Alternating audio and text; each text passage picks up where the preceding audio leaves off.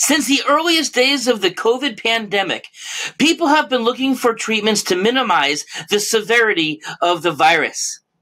One of the more controversial treatments has been ivermectin, with some people swearing by it, yet most of the research does not support the efficacy of its use compared to placebo. Now, there's new research out that has the types of higher dosing protocols that many of ivermectin's supporters have been asking for. Let's talk about it. Hey everybody, it's Dr. David. Hope everything is going well with you. Uh, thanks again to all of our supporters and do all the subscribing and liking all the thing that I asked you for. Trying to do that a little shorter now. Um, but it's been about five months since I have done any stories about ivermectin. And of course, this is a medication that is widely used worldwide for treating parasites. Um, this is a medication that actually the, the development of it led to a Nobel Prize in medicine. Um, for its use and how many people it's safe for the parasitic d- diseases.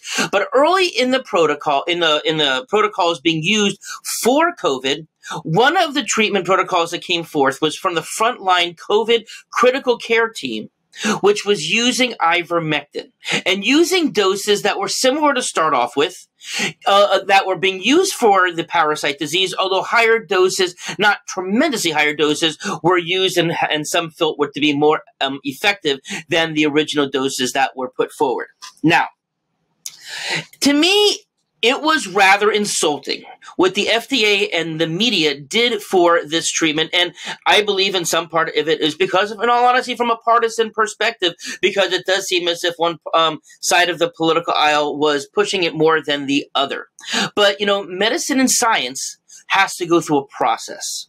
There should be a theory. One should test the theory. One should then do a study. Then you should put it on the shelf and do another study and do another study until some better conclusion is reached. Okay. And I thought it was actually um, pretty insulting when the FDA came out and with that big banner saying, You are not a horse, don't take ivermectin when it's an FDA approved approved medication for humans to use for parasites disease. So they were making it seem as if this FDA approved treatment was a crazy thing for people to be doing. Now, granted, there were people who were using a veterinary horse paste pro- version of this that didn't necessarily have the same types of dosing. And there were a few people who did overdose and taking too much and get GI upset, etc. But from everything that I can tell, using ivermectin at the types of doses that are being advocated, that are FDA approved, is really seemingly one of the safer medications that are out there. Now, of course, I'm not talking about effectiveness at all, but of course, as a physician, we always should be we, the, the the oath that we swore the day we graduated med school.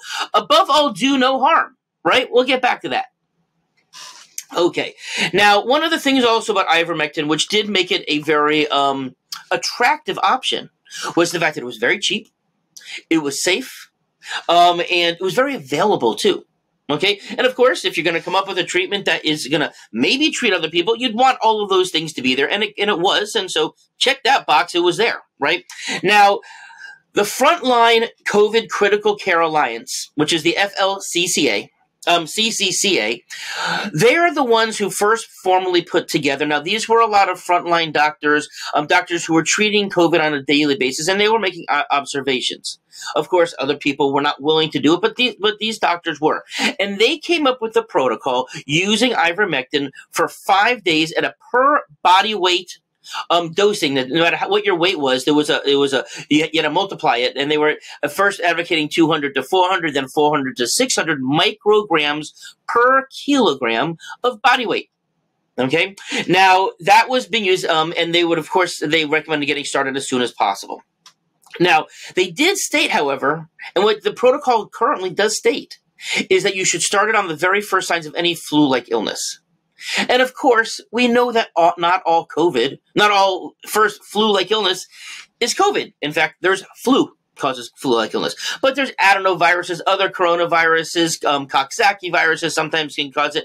There are all the um, RSV rhinoviruses can cause flu-like symptoms, and they're recommending that everybody start taking it um, regardless of the virus hey, some of my immune support protocol, in fact, most of my immune support protocol is regardless of what the virus is. Um, so regardless of that, so that to me wasn't necessarily a flag um, for it.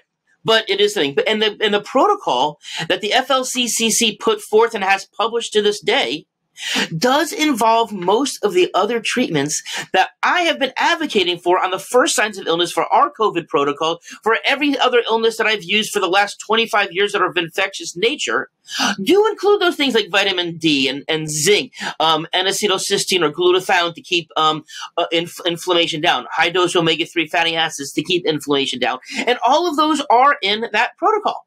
Okay. But as I said, there really has not been a tremendously large number of well published studies um, that have been like you know placebo controlled, peer reviewed, etc. on ivermectin, especially the ones that had been put forth. But you know most of the research it was done outside the country. Maybe that's because people in the country in America have been afraid to use it um, because of how political it got, etc. Um, but to say that there was no studies whatsoever that showed it to be um, effective, that wouldn't be a true statement either. And you know me, I try to put the data out there as much as I can. I will certainly give you my assessment on everything, but you know so often we get put into these corners and everybody's kind of fighting from that corner and it doesn't matter what else is out there this is their stance and that's where they come and that's not the way i approach medicine that's not the way medicine is supposed to be approached for that matter now um, as more studies were published um, and not showing success, I would be hearing from supporters of medicine, "Oh, they were using too long of a dose, uh, too small of a dose. Oh, they were starting it too late. Oh, they um, did it for too short of a period of time." All valid things that people can um, can can point out, right? A, a research is only as good as the research is and the way that the protocol is set up. There's no such thing as a perfect research study, no matter what it is about or who did it. Now, um, the um, but they, you know some of the things that I said they were using the 200 to 400 micrograms per kilo. They were treating for three days. Um, that's what the research that I was mostly seeing was. Now, here comes along a new research study that was just published um, recently in JAMA, um, which is the um, you know the Journal of the American Medical Association. Okay, now this was part of the ACTIV-6 platform trial that was led by the, a group of doctors from Duke, but um, and it went from July of 2022 to um, I'm sorry, from uh, January of 2022 to um, um, I'm sorry, let's try that one more time. From February 2022 to July of 2022. It was at 93 different sites across America, and there were, I believe, 19 different universities um, that were involved um, in this, for, you know, lots of, from all over the place. There were 1,206 patients enrolled, of which half of them got placebo, so about 600, and 600 got the actual treatment. Okay, and they were given the 600 microgram per kilograms, and they were given it for six days.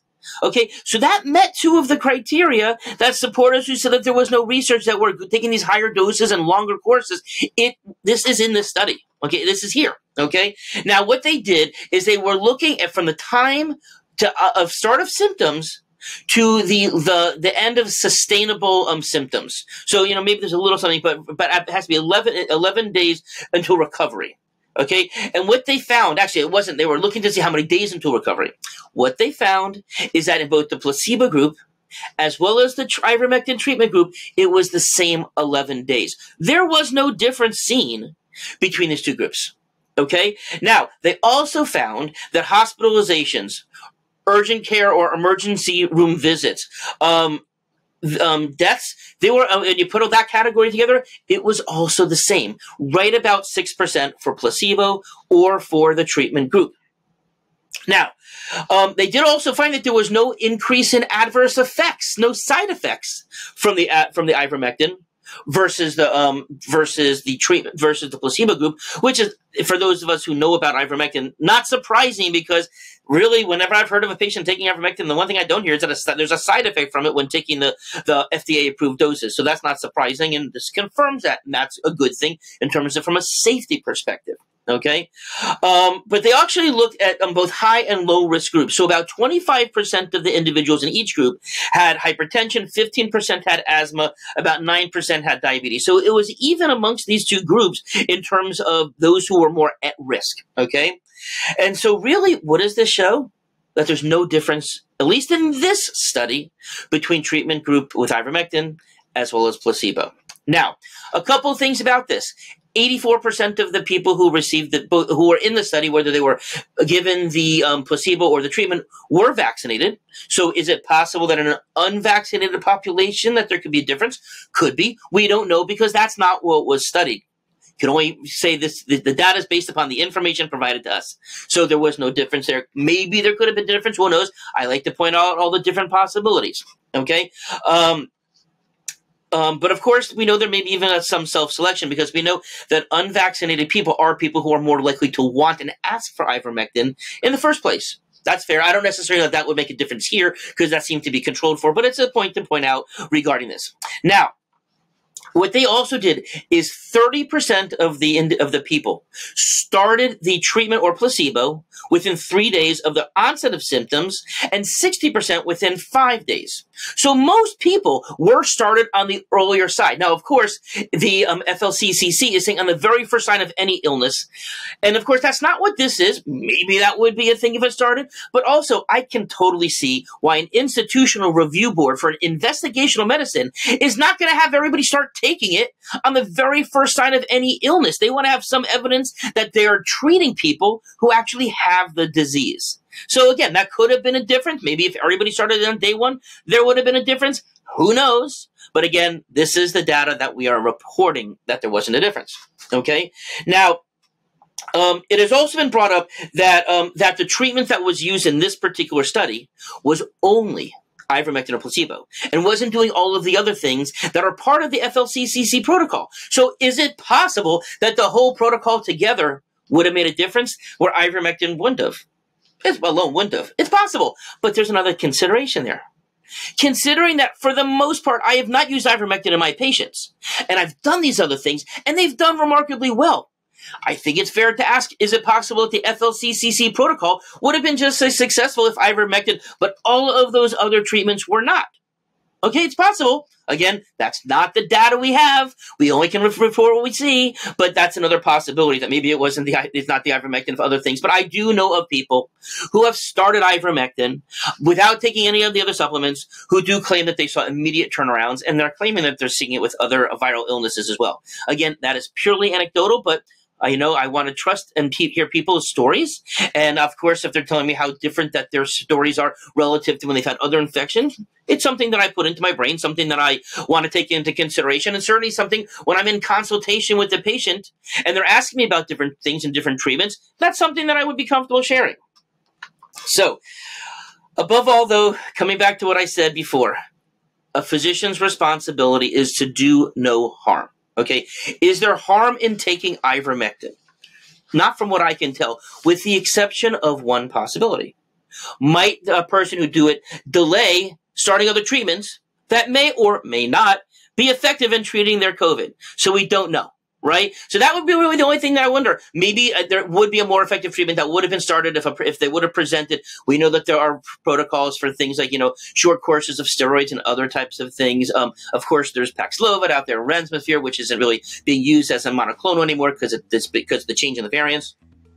So of course, all those things are are things that one should be discussing with their primary care provider when deciding what the best course of action would be for themselves or their families. So, as usual, I hope I gave you some food for thought. Have a nice day.